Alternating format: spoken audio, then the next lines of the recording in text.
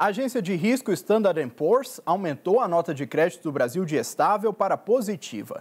Desde 2019, o país não tinha uma classificação do tipo na agência. A Natália Fruê tem os detalhes direto de Brasília.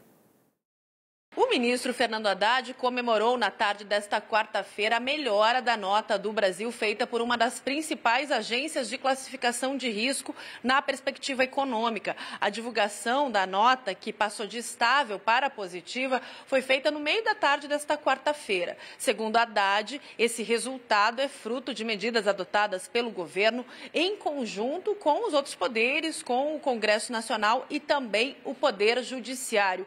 Os analistas levaram em consideração para mudar a nota do Brasil o empenho do governo brasileiro para aprovar no Congresso uma nova regra para controle dos gastos públicos e também o empenho da equipe econômica em garantir a tramitação desse projeto de uma forma mais rápida. O ministro Fernando Haddad fez questão de agradecer os chefes dos outros poderes, citou o presidente da Câmara, Arthur Lira, o presidente do Senado, Rodrigo Pacheco, e também o empenho do Judiciário, Supremo Tribunal Federal Federal e Superior Tribunal de Justiça. Haddad também citou a discussão que está sendo feita no Congresso sobre a reforma tributária e que isso também contou para a melhoria desse cenário feito pelos analistas do mercado financeiro. Ao ser questionado se a mudança dessa nota poderia contribuir para sensibilizar o Banco Central a reduzir os juros, o ministro Fernando Haddad disse que está faltando apenas isso para que a economia brasileira possa deslanchar.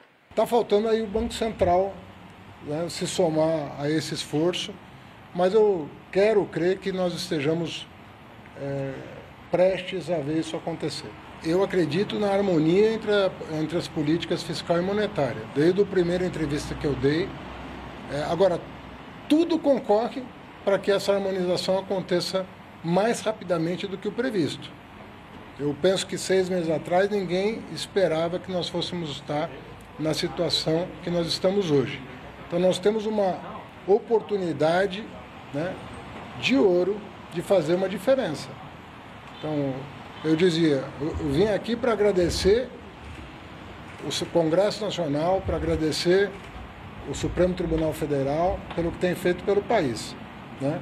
E quero, é, o quanto antes, né, agradecer também o, a autoridade monetária, que a cada, a cada é, declaração pública dá demonstrações de que está sensibilizado com o clamor da, do empresariado, dos bancos, das agências de risco, né, de que é possível essa harmonia ser ainda maior. De Brasília, Natália Fruê para o SBT News.